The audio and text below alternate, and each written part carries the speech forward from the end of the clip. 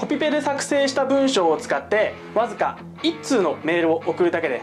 月額32万3000円の収入を獲得することができるとしたらあなたはその方法を知りたいですか？